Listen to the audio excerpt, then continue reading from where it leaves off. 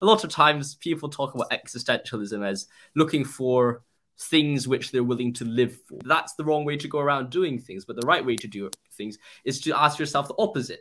What things are you willing to die for? When you're thinking about life, right? You go through life, you go through your day your day-to-day existence. What you're willing to live for changes frequently, I would say. When you're thinking about what you're willing to die for, it seems to be something which is more fundamental, even though it seems to be worshipping or at least focusing on the end of existence instead of the beginning of existence, which is life. A lot of our questions, a lot of our existential thoughts are tied to the idea of the finitude, tied to the death. So thinking about what we're willing to die for is almost just as important, or if not even more significant and more telling than what we're willing to live for. Hello and welcome yeah. to this video. Today we are starting a series with Lawrence on existentialism. This is introductory series to what is existentialism, why someone's interested in existentialism, why you should get interested in existentialism, why is it important, and more. Lawrence and I are both philosophy and theology students at the University of Oxford and are both really interested in existentialism. So we can't wait to um, start this series with you. So without further ado, let's get started with the biggest question what is existentialism?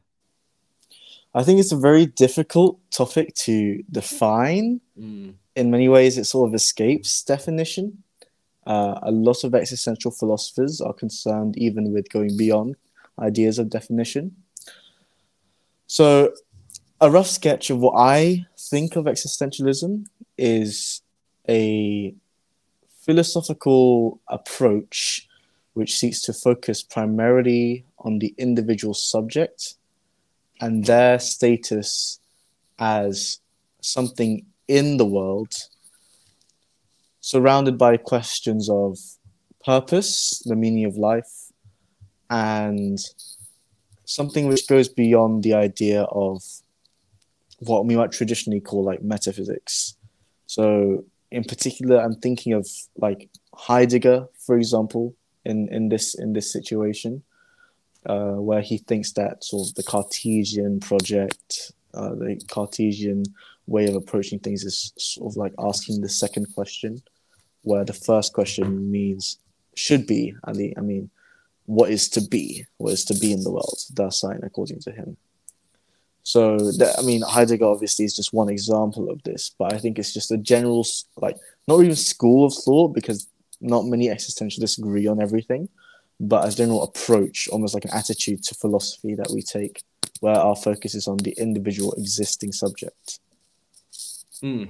I think that's a very interesting presentation because, of course, you, you note it very well. There's not a single kind of school of existentialism exactly. out there. For example, you could read Camus and then you read Dostoevsky and then you read Berdyaev and then you throw in Heidegger and then you throw in Hegel or or, or who, whosoever you throw in and you could you could look at them and you see significantly different styles, different questions are being raised. And it's not, I suppose, if you look at philosophy of religion, where it's only focused on the idea of God. You get to existentialism and there's questions of phenomenology, there's questions mm, of meaning. True. And as you say, there's questions like the one Heidegger raises, which I think is one of the central questions of existentialism of what does it mean to be in the world? How do we experience the world around us and how do we experience the nature of ourselves being situated in a world which we don't know. And I think one of the key ideas in Heidegger is the idea of truth as aletheia, some uncovering of the unknown that yeah. we and the obscurity which is around us. And I think that's a very good, um, also a very good introduction or a good idea to have in the back of your mind when you're thinking about this existentialism as a topic is well, what what am I experiencing and how does my experience interact with the unknown and the world around me? So perhaps developing this a bit more, we can go into talking about perhaps why is existentialism very interesting and why is why is it something which gets covered by a lot of mainstream thinkers of the time and and main influences of the time. I think one of the major in- importances of uh, existentialism is the sort of its rejection of our classical understandings in philosophy. So the and it's rejection in not like something that it says it shouldn't be accounted for. In fact, it's quite uh, important that these things should be accounted for, but it sort of moves past our uh, discussions around like personal identity, free will, um, epistemology, and stuff, and reimagines it in a different sense, where instead of us trying to focus on the objects, we are trying to discuss about the subject. And I think it's quite important to analyze that because I think for a lot of people, it is a very much practical way of viewing their life. A lot of people are struck by problems of anxiety, problems of uh, meaning, problems of existence.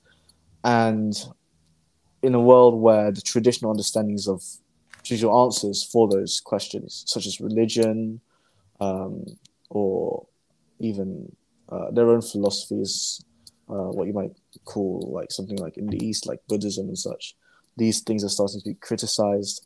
I think it becomes more important to understand these questions of existence beyond the questions that we have originally and traditionally in philosophy.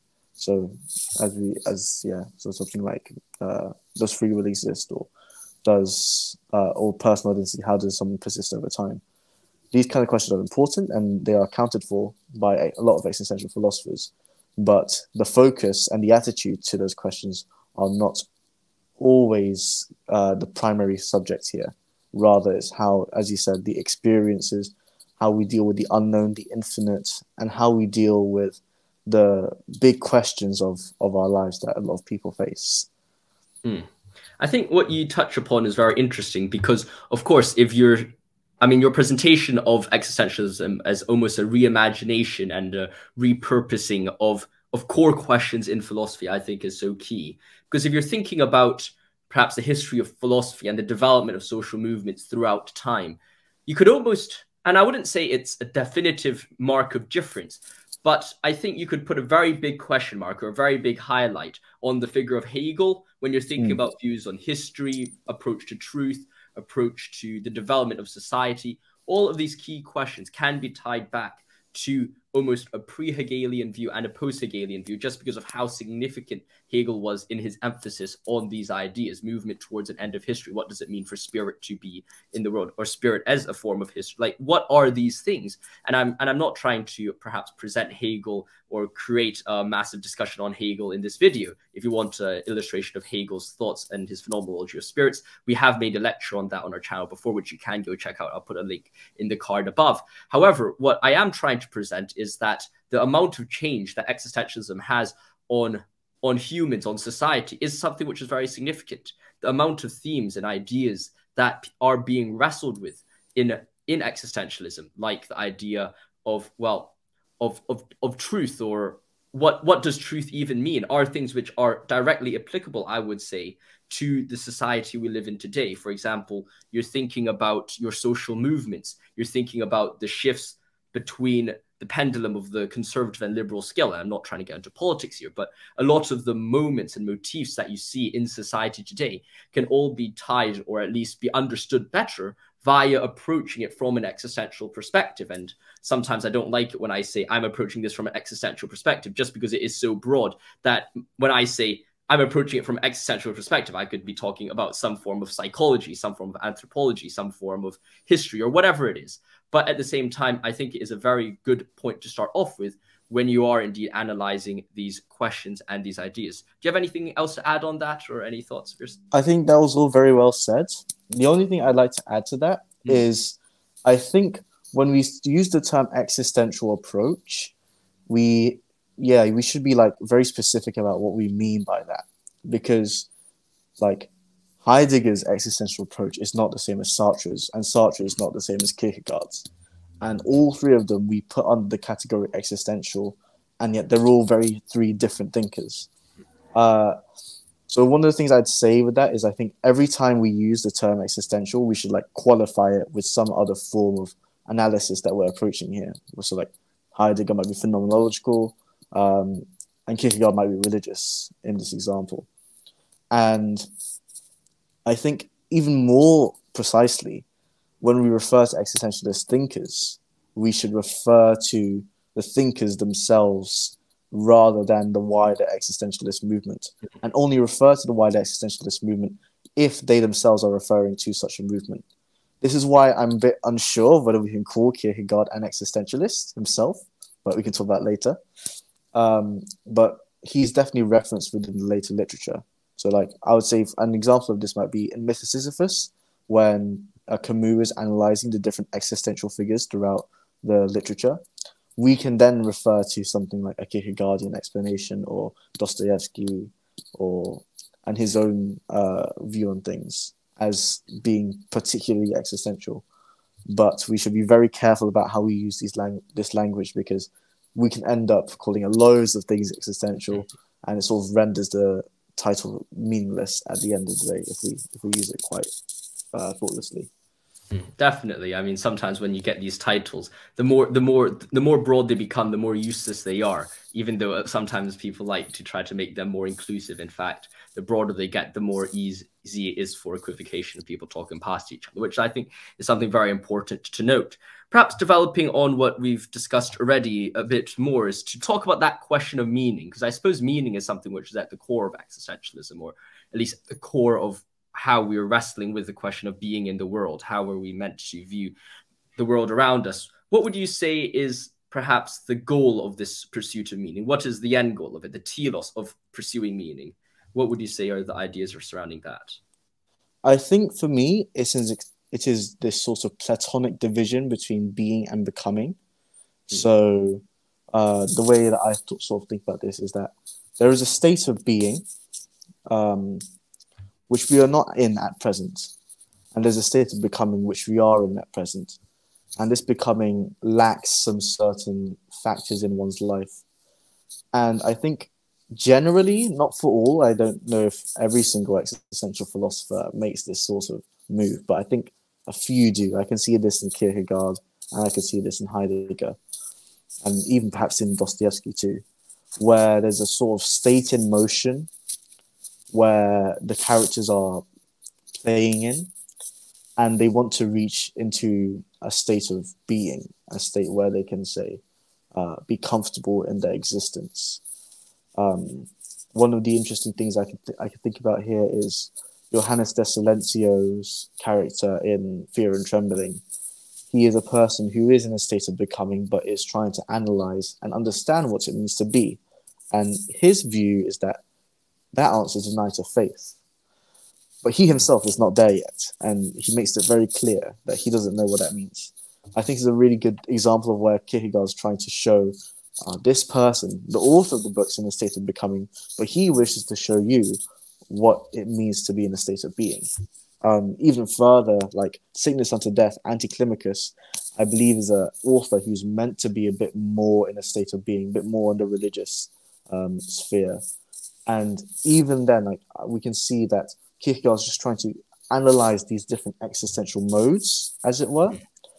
And basically, the overall point I'm trying to make here is that we are analyzing um, these states of becoming, so mm. aesthetic or inauthenticity or um, bad faith, and we're trying to reach into a state where we can be comfortable in our existential lives and be secure in uh, what it means to be, what it means to exist, what it means to have experiences and interact with the infinite and the finite. Hmm. I think that's a very nice thing you're touching upon the idea of, of course, the, the idea that we are in a state of becoming or moving towards something, because that that that presupposes a form of direction, a form of movement that one has, and I think it's a motif which repeats itself throughout history, in, in especially in ethical uh, philosophy, yeah. at least in the past, where you have the idea of Aristotelian, the progression of virtue from an object to the act, then finally to the habit. It's uh, it's the mode of moving throughout an internal thought to an external action, the individual parts and procedures of that development, and also what does it mean to reach the end? What is the goal that one is working towards? And that is I suppose, one form of way of looking at perhaps the precursors of of this movement that we're talking about when it when it, we're talking about this act of becoming. And the same way, the way you represent Kierkegaard, I think is a very important thing to note here. There's, of course, Kierkegaard's famous or um, key idea of him not being a Christian, but becoming one, the act of moving towards something, and, and the idea of modes all of these are different perspectives or at least different aspects of reaching towards or at least reaching towards a certain end or reaching towards from one area an a to a b and i think that this um, framework or at least this this landscape or or mental kind of idea to have in your brain is something which is very good when you're approaching the idea of existentialism. Maybe when you're reading yourself, or maybe you're interacting with some of these quote unquote existential thinkers. You're thinking about your Kierkegaards, your Camus, your your Dostoevsky, whoever it is. You're thinking about well, what are these different modes of being that they're discussing, or modes of becoming in in that sense, and and what are the directions to which they're trying each of them trying to reach, and in what direction? I suppose going back to the Heideggerian um, framework is what directions are they trying to uncover? Where what fields of uncovering are they trying to do? I think that that's a very beautiful um, dis- distinction or idea to have in our brains. Do you have anything to add on to that? I think uh, not much, but one thing I would say is, I like we can also add in like social factors as well mm-hmm. here. So I, am also thinking about de Beauvoir. So you, you mentioned that uh, one doesn't is not a Christian but becomes a Christian. Like her very famous quote, uh, "One is not born a woman, but one becomes a woman." Mm. So where I think the other part that I think we should also analyze here is something that Sartre and de Beauvoir uh, were very interested in is also their social factor in uh, how existentialism works and answers to existentialist questions with um, social systems and uh, structures in mind as well.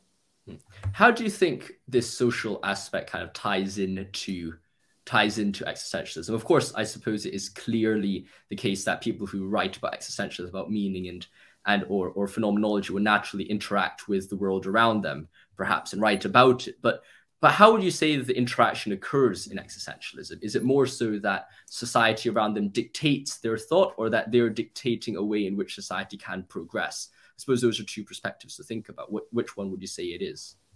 I think it's even beyond those two ideas. Mm. So there are times when existentialists generally can be quite critical of what they can consider the masses. So, like you can think of Kierkegaard's "The Crowd Is Untruth," or you know Zarathustra in for Nietzsche. Like these people are ignored by the people of their time. These people are sort of distinguishing themselves as someone separate or someone who's able to achieve some sort of existential meaning, where others who follow the crowd cannot at least that's how a lot of people in the um, in the uh, existentialist like YouTube's like scene tends to uh, approach things. Like the idea is that there is sort of like the societal problems that tell you what to do, and but you as an individual are separate from that.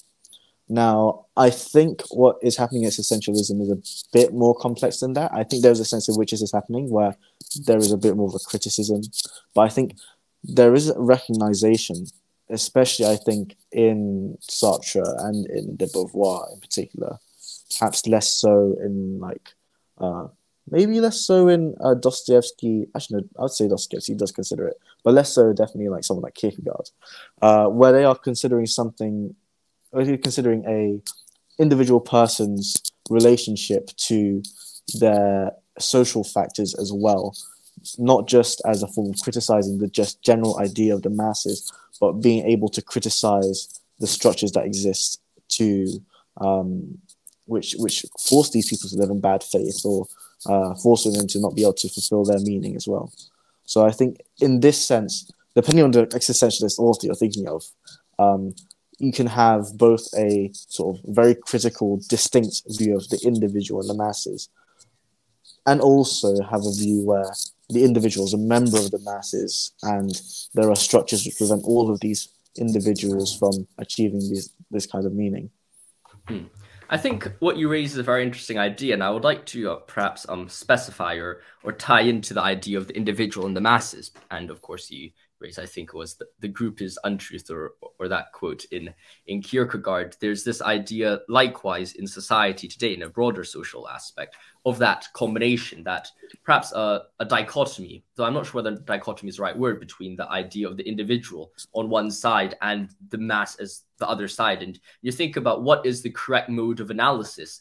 And of course, you have perhaps a more right wing conservative um, the, the, theor- theorists saying that one should approach things purely from the mode of analysis of the individual. And those on the other side would say, let's approach it from the group from the, the analysis, the mode of analysis starts off with the group, and hence you have the ideas of critical race theory and whatnot, which starts very much from the group. And as a result, a lot of times in existentialism, you see is that there's this always this constant dichotomy or this dialectic moving between the individual and the group, where, where on one side they're focusing very strongly the importance and need for the, the individual as a mode of analysis to exist. Because at the end of the day, what is being or what is the unveiling of truth? There's no individual to unveil it. But at the same time, there almost is that presupposition or there's that need for the group. Because in some sense, there is that underlying assumption at, at times that we are we are but products of the group in which we stem from, this, the scenarios or society we stem from. And I suppose that dialectic is something which is constantly wrestled with in existentialism and is something that is constantly put against each other. And, and a lot of people are trying to search for the solution of that. Is there anything you'd like to add on that? Yeah, I, I, I definitely, I think that's the best way to put it. A dialectic. I think a dichotomy makes it too like binary. I think there's a whole degree of these thinkers and these philosophers who are considering these problems um, on whichever whichever uh, extreme you'd like. But yeah, at the end of the day, I think it's it is more of a dialectic where we are trying to understand the relationship between the individual and the masses, or and to use some like Hegelian terms, the universal and the um, individual. And we're almost trying to move away from viewing it's almost like we can't even escape the dialectic from Hegel, but at the same time, like we're trying to almost use these tools to try and move away from his sort of grand idea of history and, and grand ideas, Geist and spirit guiding all of history in a, in a in a certain direction, and trying to think of it by adding the sort of individual and what um, they decide to do in certain situations that they're faced with in their life.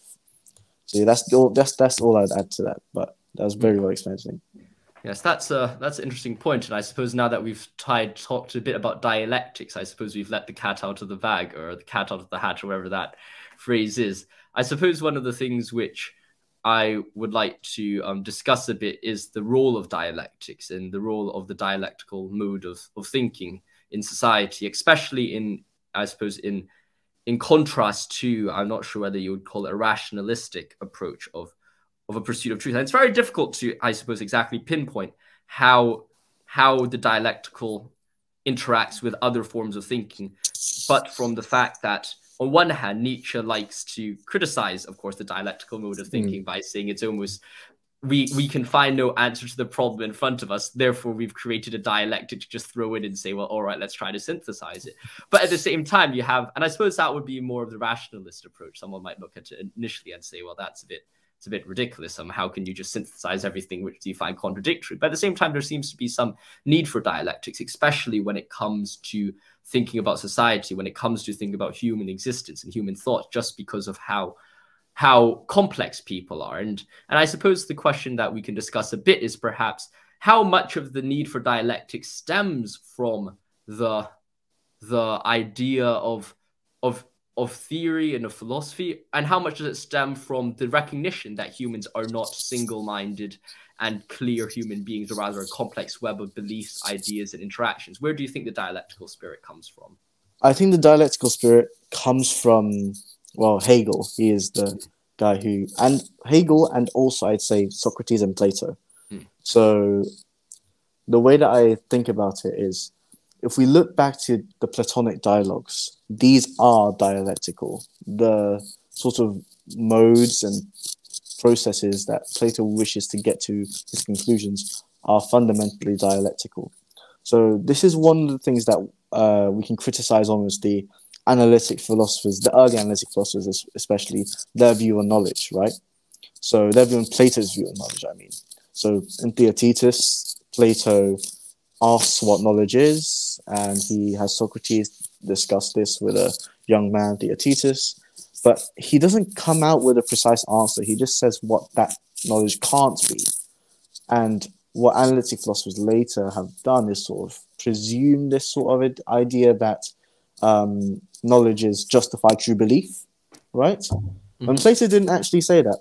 I think the reason why there's this sort of disconnect between their thought and the Platonic dialogue is the analytic philosopher's disregard for dialectic. and the, as you said, the more rationalistic view on the world. And this isn't to fully like dismantle or dis or attack analytic philosophy. It's still a very useful tool to uh, have, especially evaluating arguments for and the stuff that we, we will discuss. But the sort of attitude that they have towards dialectic as being something negative.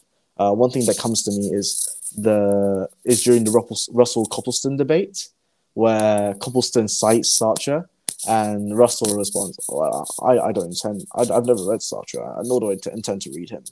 Uh, this sort of dismissal uh, of dialectics and of continental philosophy, whatever that means. Let's not discuss what continental philosophy is for now, but presuming um, let's let's define it as a sort of anything that is not analytic for now. It's not a very good uh, definition, but anything that isn't analytic for now.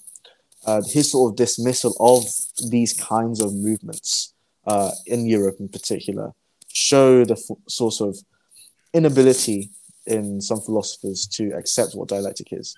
And this mode ultimately comes down to trying to view wider forces in the world, in the universe, in society as having some sort of role and trying to understand like what does it mean when we say something is um, bright and something is dark or something is is red and something is blue and what does it mean when we have these two opposing ideas next to each other? And how do we wrestle with these two ideas? I don't think it's that much of an extreme claim to try and wrestle with that. But what i find in some philosophers is that they sort of want to throw away all of the all that kind of thought as sort of nonsense and they just want to analyze the arguments itself. And i think there's disregarding the value of that kind of approach is, I think, not a very uh, is not particularly convincing to me. Hmm.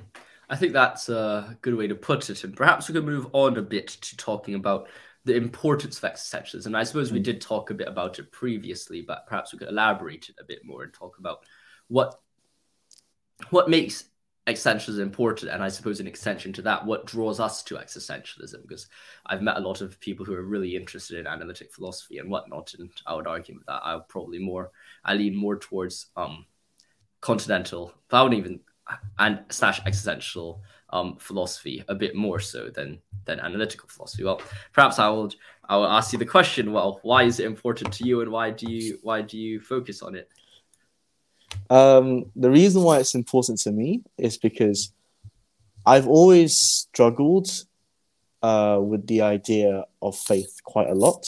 So this is the Christian part of me speaking. I've always struggled with what it actually means to exist in a, in a state in a relationship with God, and I initially got into philosophy because of Aquinas and existence arguments. I really got into a lot of the analytic stuff concerning the modal argument from Plantinga, the Swinburne's uh, like whole argument around the coherence of theism. I was really into that sort of sphere for quite a while, but then sometime I encountered re- I encountered Kierkegaard, I encountered Camus, I encountered um, Sartre, and what these people showed me is that it's really difficult like it's not it's not it's not something that you can just uh, argue and then just counter argue about and find counter examples about. It's something which is ultimately a matter of life and death. And what I find particularly interesting in existentialism is its practical applications in the world. Like you can see what it means to live according to the knight of faith, or you can see what it means to live according to the knight of infinite resignation you can see what it means to live in a state of bad faith. You can see what it means to live in a state of authenticity. Like all of these ideas, like have practical implications for how you live your life. Uh, this is why I think um, existentialism is quite good because it's a very practical philosophy which actually affects a lot of people's lives. And the amount of literature that people have like written about existential philosophy, existential themes, is really interesting to me.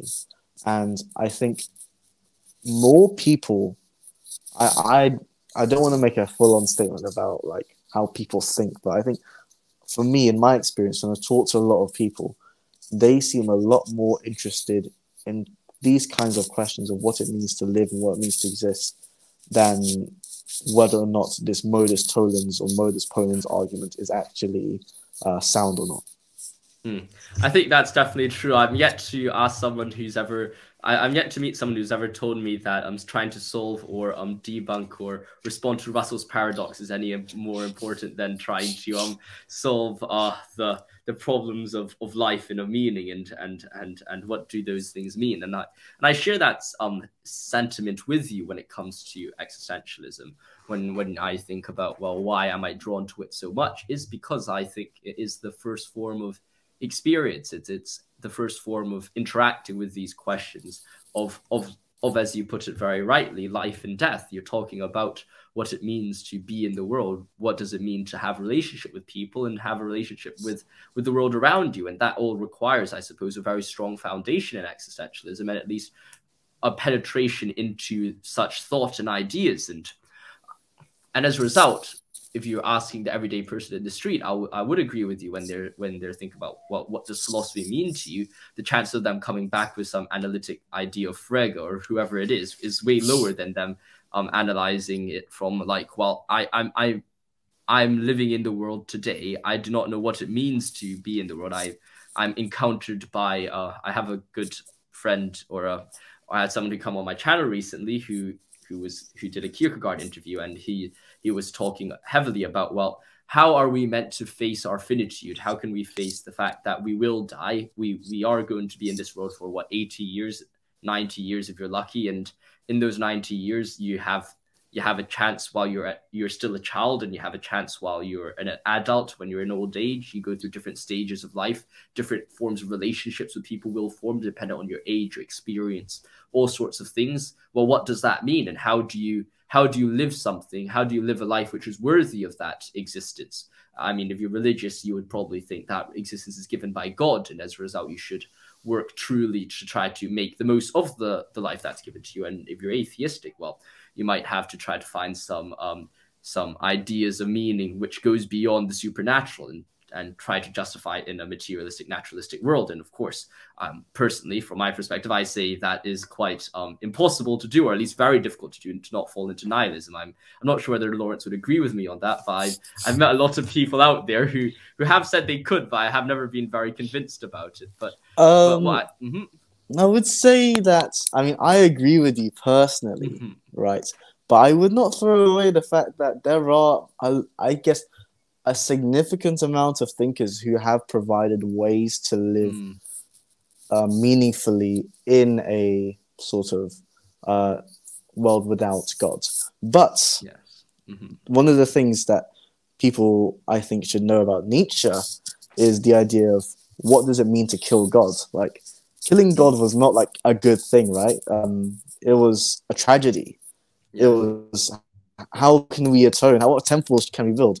The one of the things that I've seen actually, um, this comes from Hans-Georg Moeller. It's a it's another channel called Carefree Wandering. If uh, you're interested in, uh, I'm not sure if he's the one that says this, but I've heard it somewhere. They said that um, what he's referring to there is a big what's next, right? Mm-hmm. We've killed God, right? We have uh, put him in the ground now, what can we do next? What are we going to replace him with? Um, and one of the big issues there is the question of how far you're satisfied with these sort of replacements. And I guess a lot of the other uh, existential thinkers are really concerned about this kind of question, right? Um, one of the things I'm thinking about is Camus, right? Like he realized the world is absurd, and without God, like what what what can we do? What can we do uh, without God? So I think I would say there are answers, and people have been satisfied by those answers. But on a personal level, I agree fundamentally with you that there is no way out for the existentialists if they don't apprehend to some sort of non-naturalistic explanation of the world. And this doesn't necessarily have to be a Christian one. Um, mm. uh, this could be uh, some sort of other being, um, some sort of other other other thing that they might uh, hold to. But at the very minimum, at least, the and the way that one could achieve their meaning in life, I personally would say yes, I, I would. It's a really long way, a rounded way of yeah. me saying that I agree with mm. you. But yeah, basically, I do agree with you. Mm. Yes, it's it's it's definitely something which is worthy of thought because there is, I suppose, if you're approaching it from purely an existential or phenom- from a perspective of phenomenology, it's very easy to, I suppose, end up with a form of absurdism of Camus or or even a form of um of of well I suppose humanism like Sartre, I suppose you yeah. even classify him as such. And and those are potential alternatives. I suppose I think the main problem arises is when you have the metaphysical implications and when you're thinking about the metaphysics, then I think the problems arise when you're no longer asking, can this provide meaning? Which I think a lot of times answer is yes. I mean, of course, it depends on what you qualify as meaning and what do, do you mean by does this create? But at the same time, a lot of times I think if you just if if someone approaches Camus or someone reads Sartre, you could say, well, all right, yeah, they do provide a sufficient explanation or they do provide a, a, sufficient framework which internally may may actually be quite consistent. I wouldn't be so harsh as to say they're completely useless. But at the same time i do think that if you're then going to tie into metaphysics or at least tie into the further grounding behind no longer as what it does this provide meaning but rather is this meaning or why do we hmm. have this meaning? Then I think further problems arise and further things do come out. If you've been enjoying this video so far and have found it helpful, please like and subscribe and share it with your friends. If you want to support this channel financially and support our mission, then check out our Patreon in the link below where you can support our channel there as well. Hope you enjoyed this video and let's carry on. Well, I suppose we've talked already a bit about what got us into existentialism, but well, who is existentialism for? Is I suppose someone who is walking in the street might not think analytic philosophy is exactly for them. They might not really care about philosophy of religion. They may not care about logic or whatnot. They might not care about how truth tables work in modus tollens and how you can do proofs from contradictions. But well, existentialism, is there a similar limit as to who it is for? Or do you think it's almost a universal question that people who by virtue of living already experience this form of existential angst, which is, I suppose, the key existential idea or motif? Amongst all thinkers? I think what, what I'd say yes tentatively because um, mm-hmm. we're studying analytic philosophy here in Oxford, and there's always a counterexample to be found. But I'd say yes tentatively because when I go back to the Philippines, we have this saying called Bahala na, which is like uh, if God wills it, right? Mm-hmm. And I think that statement is one of the sort of key ideas of understanding like how existential angst has been understood by so many different cultures around the world. Right, we focus a lot on our good Western friends, uh, de Beauvoir, Sartre, Kierkegaard, Heidegger, but I think this question is quite a universal question.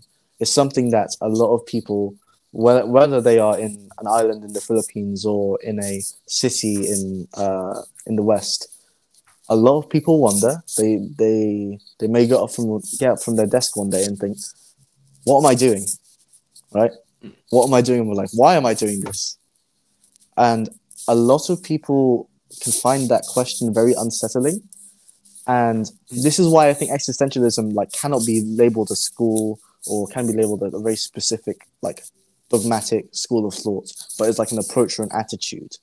Uh, because like like this question has been asked by so many people. I'm not. I don't. Maybe there is a person out there who has never asked in their life, like, "What am I doing in my life?" or "Why am I doing this?" Maybe there is that kind of person.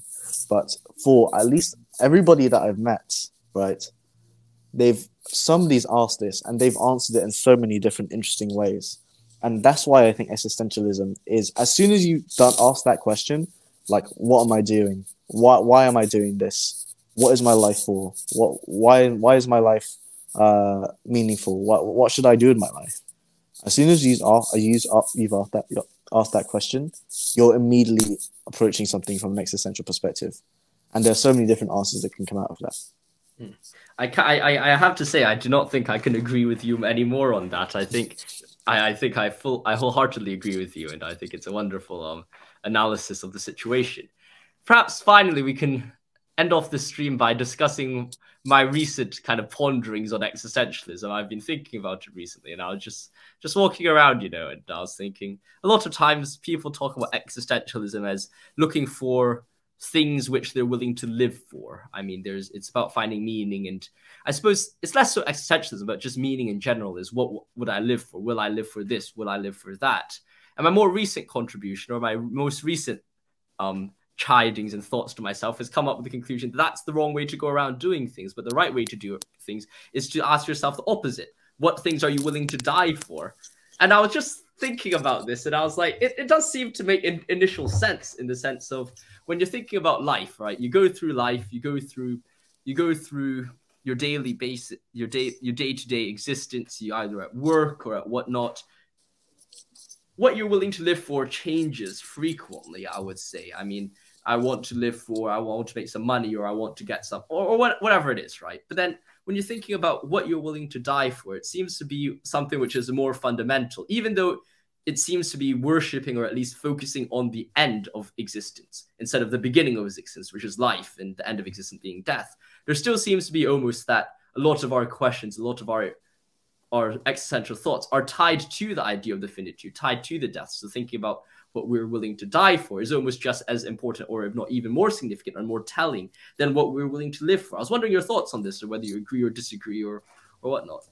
I completely agree actually with that. Like this is, I was thinking about what you were about to say, and the immediately th- the immediate thought I had is, what are you going to die for? I think I, I fully agree. Like this is this is something that we should investigate more, because I mean, people are willing to, as I mean, a lot of the new atheists from, from 2006 uh, often were admonishing religion, like saying, How could anyone die for this? You know what religion makes? 9 11. They make the 7 7 bombings, right?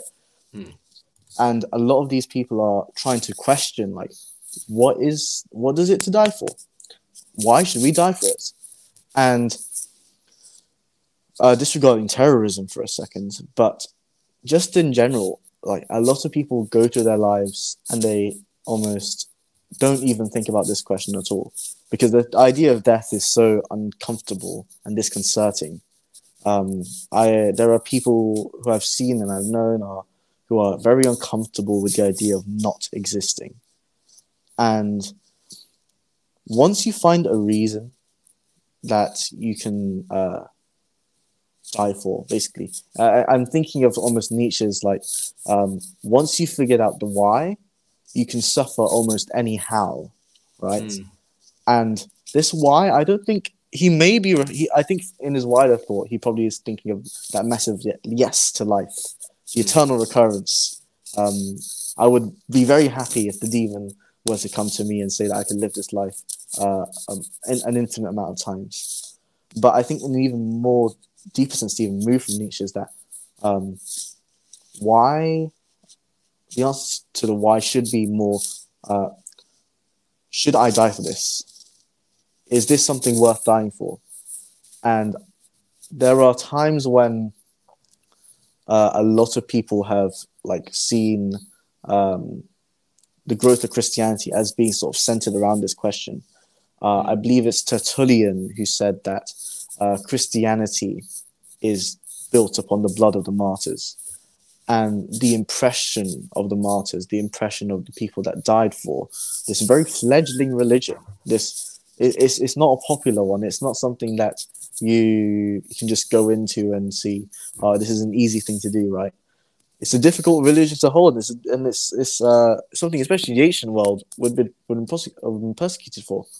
But these people still were willing to die for it, and I think I don't know necessarily the answers to that question. Mm. I don't think I, I, don't I don't I don't think either of us do. Um, maybe maybe have some sort of uh, preliminary thoughts on on how to answer that. But I think that that's definitely something to analyze in much further detail. That I think uh, some people, at least maybe haven't read it, we, have we, we haven't seen yet, but some people haven't addressed it fully enough yet. Mm. I definitely agree with that, and I think finding what you're willing to die for is something which comes along once in a blue moon. I I don't think people go through life and are like, okay, I'll die for this, that, that, yeah, that, exactly. and give you a list of like 10 or 12 things.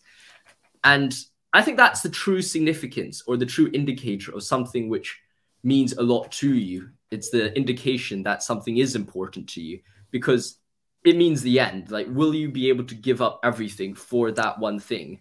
And I think that's the important idea. That's the important motif. That's the important spirit to ask yourself is what is that in the world which we would value more than life itself? And it doesn't come around a lot, I would say, and it doesn't come yeah. around easily. But I think when you're trying to pursue it, when you're trying to figure out what means that much to you, and of course, it's a subjective decision. I don't think I would ever be able to come out with one idea and say, that is the one thing that everyone should be willing to die for. I don't think that's the case. But at the same time, it is something that when you truly come across it, only you will know and only you would be able to justify what it is and what it means to you. And I think that is the significance of what are you willing to die for? And, and that is how it keeps us going and keeps us thinking. And when you do find that purpose, then, well, I think it'll be wonderful. I think there is that peace which comes to it when you're saying, well, I am so perfectly in love with that one thing, or so perfectly at peace, or have so much admiration for that one thing, which you you're able to do everything for it. And I think that's a very beautiful sentiment or state of being to be in. Mm. And of course, it could bring great sadness, but at the same time, it brings great peace. And I think it's the constant wrestling between those two motives or those two ideas which which makes all the difference, I suppose. Is there anything else you want to add? I want to ask a question. Do you think mm. there are people who will never what do you think about people who may never find this kind of answer of what it is to die for? Do you think such people well, do you think that that because it's such a rare event, do you think this actually happens to everybody or do you think this this is uh, something for a few people who have thought about it? I think it's something that everyone has the chance to experience. Mm. And I'll word it like that just because I would say not everyone will experience it, but I think everyone can experience it if they're willing to open up their hearts to a certain degree yeah. of of love and of and of affiliation and affinity to certain people or certain ideas. I think if that is the case, then I think everyone will be able to experience it. I mean, what comes to mind the most is is just the analogy of of a mother who's willing to do anything to protect their child. Yeah. They're willing to uh, run into a burning building or or whatnot. And and I think that idea is is is similar to the idea of finding something you're willing to die for. It's that idea, that idea of childbirth, the idea of um, having a being which which you love so much. For God so loved the world, He gave His one and only Son, so that we all may be able to save. Is that that thing is that which is willing to die for? You know, it's it's that idea that we can open ourselves up to it, we can reach out to it, but at the same time, it might not come to all of us equally, and and it depends on how we're willing to open our, our hearts and. And maybe it's it might not be good for some people to open up their hearts. Maybe it will bring them more pain than it brings them joy. Maybe it'll bring them more suffering than than anything else. But at the same time, I think it, it really depends on that state of yourself being open to open to the potential of you finding that love. Because I think once you find it, it's impossible to get it out of you. It's it's impossible to fight against it, and mm. it's something which is so powerful that that when you are in face of it, there's nothing more you can do than just say, "Well, I'm here. Um, the Lord is good that He's given it to me, and if this is a cross I must carry, then then it's a cross I must carry." You know, and mm. and I suppose it ends off with the Sisyphean, Sisyphusian idea, where it's something like, I imagine Sisyphus happy, even though he's pushing up that rock every day up the hill. And I suppose yeah. it's not exactly the same, but that sentiment, that mode of existence, that feeling, I think is is, is similar. And I, I would say that's perhaps the answer or the idea to your to that question. Yeah, that was that was very well worded. That was very well worded. Well, I think with that, I think we can end off our first stream on our discussion on existentialism. I hope you've enjoyed this video. If you enjoyed this video, make sure to like and subscribe and share it with your friends. If you'd like to support our channel financially as well, then go check out Patreon. You can go find that out in the link below as well. Stay safe, my friends. See you soon. Thank you for watching. God bless, and I'll see you in the next video. See you soon, and goodbye.